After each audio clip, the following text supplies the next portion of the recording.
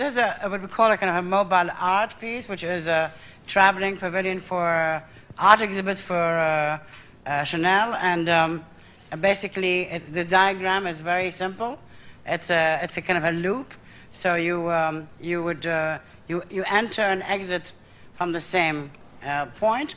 This will be transported into different places. Therefore, the kind of complexity of the geometry was resolved parametrically, and also it could be then uh, kind of taken away and put together. And because of the speed of this project, we can really, the, the resourcing in terms of experimentation is also uh, heightened. So it's um, uh, very exciting.